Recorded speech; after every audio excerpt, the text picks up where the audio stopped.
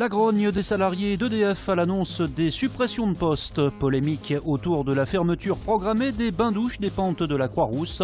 Enfin, la renaissance du garage Citroën, un bâtiment lyonnais emblématique, entièrement restauré. Après l'annonce par la direction d'EDF de la suppression de 3350 postes d'ici 2018, soit 5% des effectifs, la réaction n'a pas tardé côté syndicat. À Lyon, une manifestation est partie ce matin des Brotteaux en direction de la préfecture. Donc là, on est passé devant plusieurs directions des industries électriques et gazières. On a affiché des banderoles pour interpeller ces directions et on va être reçu en préfecture, en délégation, pour interpeller euh, l'État qui est actionnaire majoritaire d'EDF. On est en colère parce que euh, le gouvernement et nos directions sont en train de casser le, service public d'électricité. On va privatiser l'hydraulique, on est en train de fermer des centrales nucléaires, on ferme le thermique à flamme. Euh, aujourd'hui, c'est on, donne au capital euh, tout, tout, le patrimoine énergétique français. Et en plus, il y a aussi la reprise de la, de la dette d'Areva qui va couler le groupe EDF et couler l'action EDF. On comptait ce matin près d'un millier de manifestants à Lyon. Les suppressions de postes devraient s'opérer sans licenciement, mais par le non-remplacement des départs en retraite. Morad Agoun placé en garde à vue pour viol. Le conseiller métropolitain PRG et adjoint au maire de Vaux-en-Velin est suspecté d'une agression sexuelle commise le 7 janvier dernier sur une employée municipale vaudaise. Morad Agoun a été entendu cet après-midi par la brigade de protection de la famille. La mairie de Vaux-en-Velin a d'ores et déjà annoncé le retrait de toute délégation à son adjoint. Audience solennelle de rentrée au tribunal de grande instance de Lyon ce matin. L'occasion pour son président de nier un manque d'effectifs chez les magistrats. Bah, concrètement, il manque 8 euh, juges. Hein, et ça touche, comme je l'ai dit, toutes les fonctions, euh, juge des enfants, juge aux affaires familiales, euh, juge d'instruction, juge d'instance. Donc euh, c'est vraiment la justice au quotidien qui est impactée. Hein. bah, ça veut dire que pour passer devant le juge aux affaires familiales, il bah, faut attendre 6, 8 mois. Ce sont des délais qui ne sont plus raisonnables. Les outils informatiques sont aussi parfois insuffisants. Le procureur a notamment évoqué l'affaire de l'enseignant de Villefontaine, auteur d'agressions sexuelles sur des élèves. Le problème, si vous voulez, c'est que euh, on n'a pas euh, les moyens techniques informatiques qui nous permettent à un moment donné d'identifier clairement dans l'application qu'il euh, est enseignant et que derrière, de manière automatique, eh bien, il y ait un envoi à un moment donné, automatique à l'administration. C'est ça qui nous pose problème. Et du coup, comme on n'a pas ni les moyens techniques ni les moyens de greffe, à la sortie, tout repose sur la mémoire du magistrat.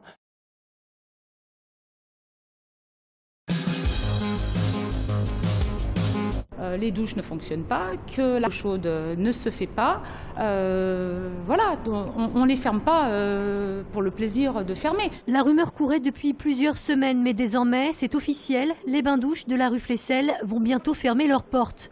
Une décision validée lors du dernier conseil municipal. Raison principale, la vétusté du lieu et une rénovation qui serait trop coûteuse. La rénovation je dirais même la reconstruction, parce que c'est exactement vers là où il faudrait euh, s'orienter, euh, n'est pas possible.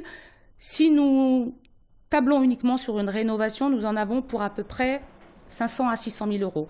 Si nous voulons euh, remettre complètement en état aux normes de sécurité, aux normes d'accessibilité, nous atteignons les 1 million d'euros. Chaque jour, une cinquantaine de personnes utilisent les bains-douches à Lyon, des bains-douches répartis sur deux sites, ici sur les pentes de la Croix-Rousse et un autre à Gerland en cours de rénovation. La ville souhaite tout recentrer sur le 7e arrondissement, une décision qui va à l'encontre des besoins des usagers selon la mairie du premier. Il y a des catégories de difficultés, il y a des familles, il y a des femmes, il y a des hommes, il y a des personnes âgées, il y a des gens qui sont isolés, il y en a d'autres qui arrivent en groupe, etc. Tout ça doit être regardé, donc il n'y a pas de réponse unique. Aujourd'hui, on n'a plus que 8 cabines qui fonctionnent sur les 22. Bah, évidemment, c'est parce qu'on n'a pas mis les moyens qu'il aurait fallu y mettre. La fermeture définitive des bains-douches Flessel est prévue à la fin du mois de mars. Ça passe pour l'OL. Les Lyonnais se sont qualifiés hier soir pour les huitièmes de finale de la Coupe de France en battant 2 buts à 0 Chambly, équipe de nationale. Une victoire acquise grâce à des buts de Cornet et de Valbuena en première période. Une bouffée d'air pour les hommes de Genesio après une semaine de défaite et avant le choc de dimanche face à l'Olympique de Marseille au Grand Stade. 1932, ce bâtiment devient la plus grande station-service au monde. Situé dans le 7e arrondissement, le garage Citroën, classé au patrimoine historique en 1992, entame aujourd'hui une nouvelle vie. Racheté en 2011 par un acteur majeur de l'immobilier, il a été entièrement réhabilité, mais certains éléments n'ont pas bougé. Alors ce qu'on n'a absolument pas touché, ce sont les rampes les rampes des les deux rampes euh, superposées qui font quand même à, toutes les deux 440 mètres euh, de longueur. Alors on n'a pas eu le droit de toucher à la structure, aux façades, à la charpente, à la couverture. C'est vrai qu'on a été obligé de faire attention. Et notamment par exemple toutes les menuiseries extérieures que vous avez ici, elles sont absolument fidèles à celles qui ont été faites en 1932, le jour de la livraison du bâtiment. 30 000 m2, deux ans de travaux, coût 33 millions d'euros pour un bâtiment qui n'est plus du tout industriel, mais tertiaire. À l'époque, quand on l'a acheté, on savait que ce ne serait pas un immeuble de logement, ce ne serait pas un hôtel et que ça ne pouvait être que du tertiaire. On a créé énormément d'escaliers de, circulation verticale pour accueillir donc des centres de formation.